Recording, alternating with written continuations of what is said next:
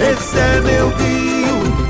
I'm singing the rain, just singing the rain. Pois é, essa homenagem a esse grande empresário, produtor, cantor, ator, dançarino Cid Domingues, que vem com vários musicais. Querem ver? Cid Domingues nos traz o que há de melhor no Rio de Janeiro.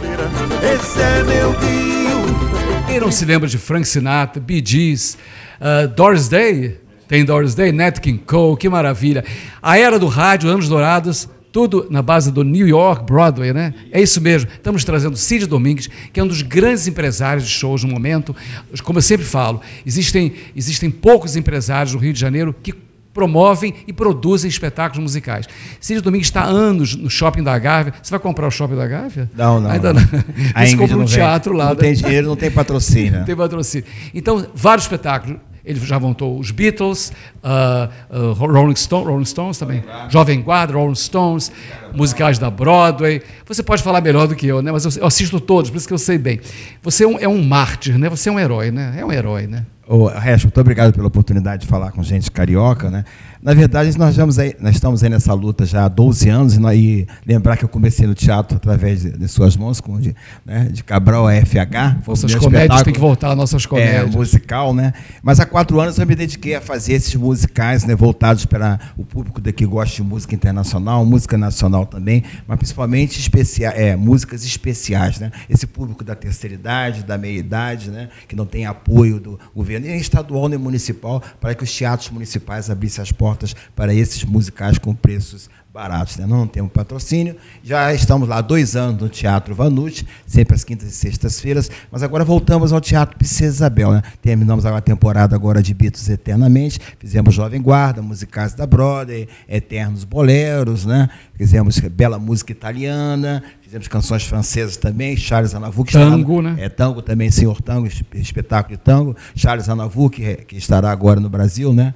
É, é, ma- mais uma semana estará aqui no Brasil. E o Beatles Eternamente. Agora nós estamos estreando a Era do Rádio, com essas canções maravilhosas dos anos dourados, canções dos anos 50, 60 e 70 também. Acrescentamos algumas músicas atuais. E tem Nat King Cole, tem Frank Sinatra, tem Johnny Metz, tem Paul Anka, não é? E tem, e tem Crazy, e tem Close to You, tem Bee tem Abas, sempre cantada ao vivo, né? com a participação da Cissa Ferraz e o Pedro Calheiros, que está voltando né, a, a trabalhar comigo né, nesse grupo de 16 cantores e 14 bailarinos, todos de Jaime Arocha. Né? Você faz um preço acessível para o teatro. Mas como é que uma plateia pode aguentar, né? A gente abre o jornal e vê. Ontem mesmo os, os ingressos esgotaram, né? Do Rock in Rio, 130 reais. Esgotaram os ingressos em quatro horas. Então, e os, grandes musicais, 150, 190. Como é que você vê essa exorbitância de preço? Você não acha, não? Fora de uma realidade. Pois é. E o pior não é isso, é que são espetáculos patrocinados pela Lei Rouanet, não é?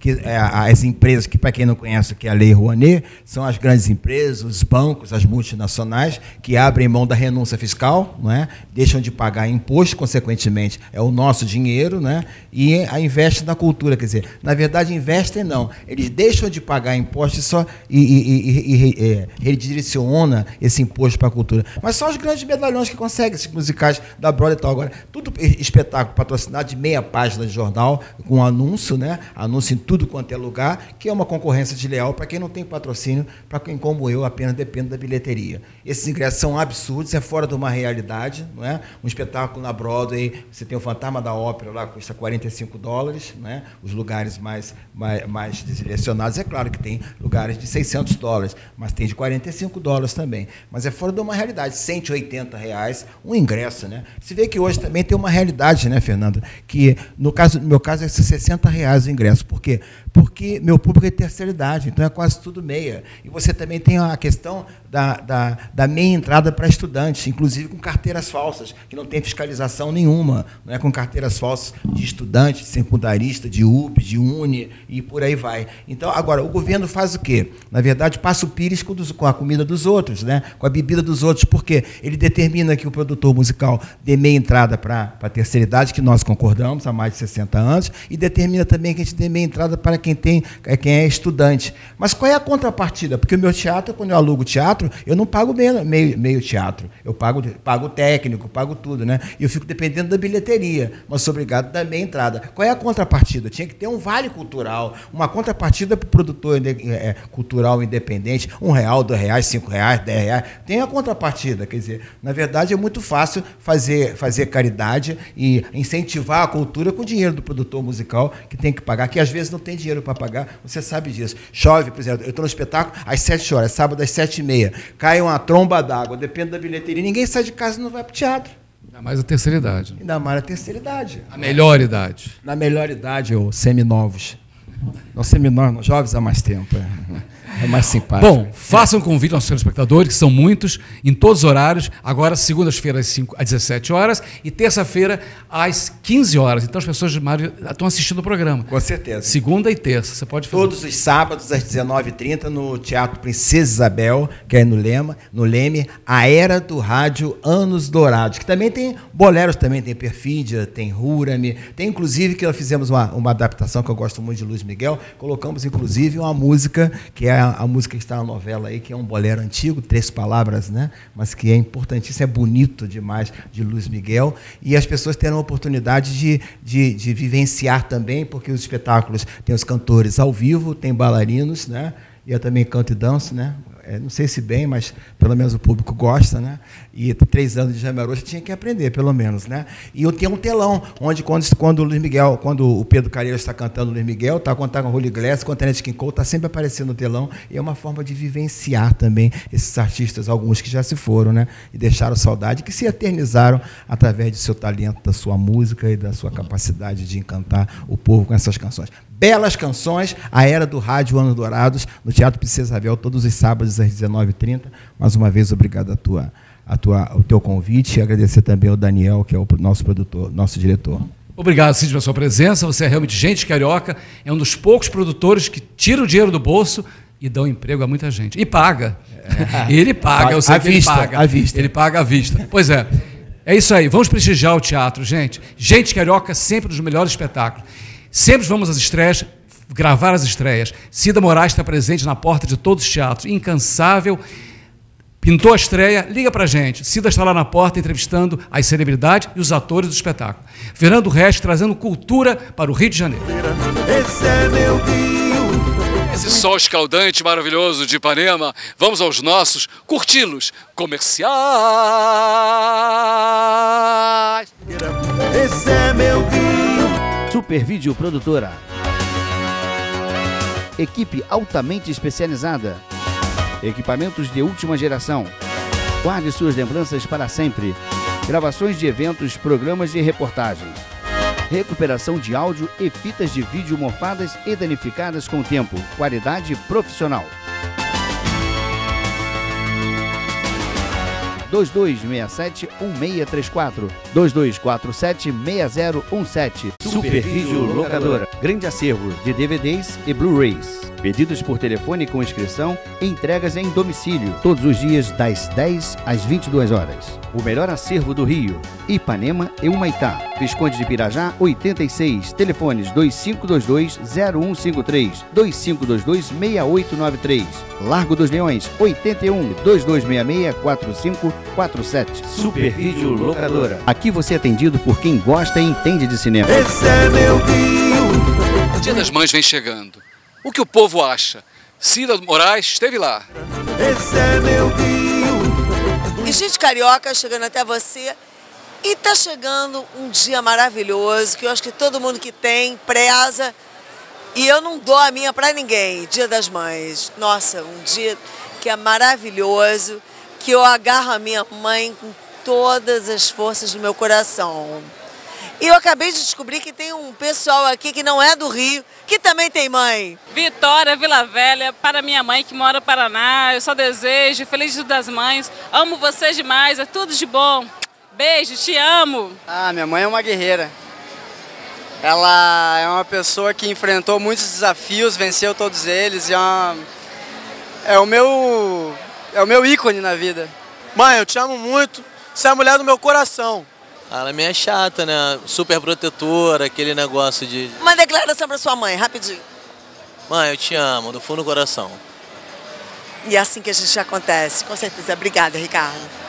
São cinco. Ô, Jesus! É, cinco filhos, são cinco filhos. Minha mãe tem muitas qualidades, ela é mãezona, né? Tipo, mãe é mãe, né? Pô, minha mãe é também extrovertida, legal comigo e tudo. Meu maior defeito, curiosidade. Sou muito curiosa. Em relação aos seus filhos, que eu tô... Filhos, sim, sim. Você quer saber tudinho, tudinho que acontece? Tudo, tudo. Até dos que são casados. muito bom, muito bom. é isso, ela é super protetora. Enche o saco.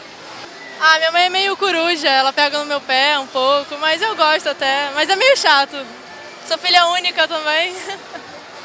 Ela é muito dedicada, ela é muito. Ela sempre educou muito bem os filhos. Então eu acredito que ela seja uma mãe muito dedicada. E a Paraíba invadiu a Lapa. Elele, adoro-a. Fátima, me fala, Fátima, você é mãe? Sou. Seu maior defeito? Querer mandar nos filhos. que ela me apoia em todos os sentidos. Ela é uma mãe muito. Ela é a base de tudo na minha vida. Te amo, mãe. Tudo de bom. Ah, meu presente foi esse. Foi essa viagem para o Rio de Janeiro. Eles já se cotizaram e já, me, já financiaram essa minha viagem, me deram de presente. Eu disse de antemão, não quero presentes, eu quero dinheiro para ir para o Rio de Janeiro. Então, chegou, antes do Dia das Mães. Tem, mãe, olha. O defeito dela é ter tido mais dois filhos. Porque eu era para ter sido filha única, né? Porque seria só para mim. Entendeu? Não tem. Minha mãe é especial, não tem defeito. Mãe é uma coisa ímpar, ninguém dá, ninguém presta. É muito legal. Você que é mãe, ou você que nunca foi mãe, você que está planejando ter um filho, malandro, é muito legal. Você saber que você tem o amor de um filho, que você pode contar com seu filho. Sim, ela é muito braba, ela grita demais, mas o resto a gente vai levando, né? Ah, minha mãe é muito carinhosa, muito amorosa, eu gosto muito disso dela também. Mas eu amo a minha mãe com todos os defeitos dela. Eu quero que ela viva 120 anos, fique velhinha, de bengalinha na mão, ranzinza, para eu cuidar dela, para poder retribuir para ela tudo que ela sempre fez por mim, todos os momentos que ela teve comigo, na doença, na alegria, na tristeza.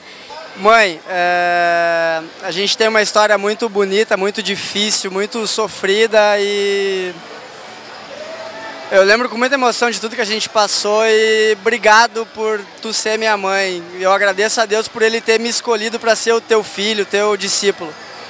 A minha mãe é tão especial que ela me criou desde pequeno. E hoje estou aqui para contar que minha mãe é tudo, minha mãe é tudo. É tudo que tem para mim. Eu amo ela. E mãe, te amo, me traga mais vezes pro Rio de Janeiro. É, Isabela, feliz dia das mães. Mãe, eu tô aqui no Rio de Janeiro, longe de ti, mas eu te amo muito, tô com muita saudade. E quando eu chegar em Porto Alegre pra te abraçar, vou te agarrar, vou dormir contigo. Minha mãe é uma guerreira, ela me ensinou a ser guerreira e é por isso que eu guerreio nessa vida todo dia por causa dela. Minha mãe é uma Dizzy, é mãe de Dizzy Croquetes, então ela é maravilhosa. Uhul! Ela é maravilhosa. Não tem defeito ela? Ela é maravilhosa, ela não... Desculpa, gente, ela não tem defeito, não. É isso aí, gente carioca chegando até vocês. Mãe, te amo, feliz dia das mães, parabéns pelo aniversário em maio e você é a base de tudo na minha vida, beijo. Eu te amo, mãe. Parabéns, Parabéns, mamãe. De Vila Isabel, Niterói, Madureira, esse é estamos mãe e filha aqui, ó, dia das mães, Liliana, o, microfone é seu, você pode mandar uma mensagem para sua mãe e para todas as mães? Mamãe, eu te amo, tá?